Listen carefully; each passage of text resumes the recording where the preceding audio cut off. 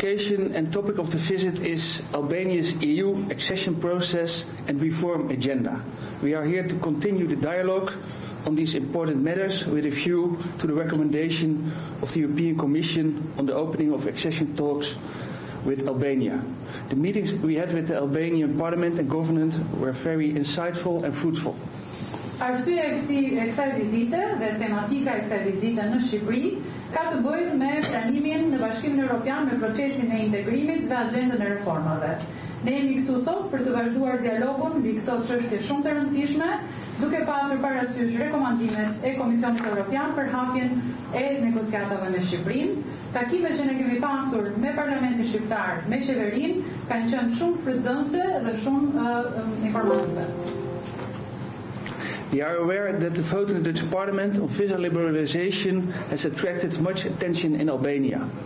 However, this was not the reason for our visit and neither was this a topic that we raised or extensively discussed in our meetings. I'm sure that this topic will be on the agenda during the visit of the Albanian parliament to the Netherlands later this month. To conclude, we had several interesting meetings and ex exchanges of views with Albanian counterparts yesterday and today. A general report of our working visit will be published on the Dutch Parliament's website in the upcoming weeks. Ne jemi informuar dhe jemi të dërgjeshëm që votimi i Parlamentit Hollandes në lidhje me liberalizimin e vizave ka tërhequr shumë vëmendje në Shqipëri.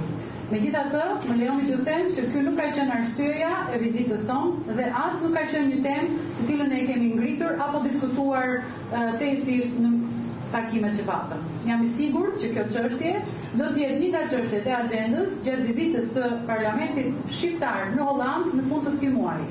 Për ta përmbyllur, më lejoni të them që ne kemi pasur shumë takime interesante dhe shkëmbime idesh me palën shqiptare gjatë ditës së djeshme dhe sot. Një raport i përgjithshëm për vizitën tonë të punës në Shqipëri do të botohet, do të publikohet së shpejti në websajtin e Parlamentit Hollandez në javët që vijojnë.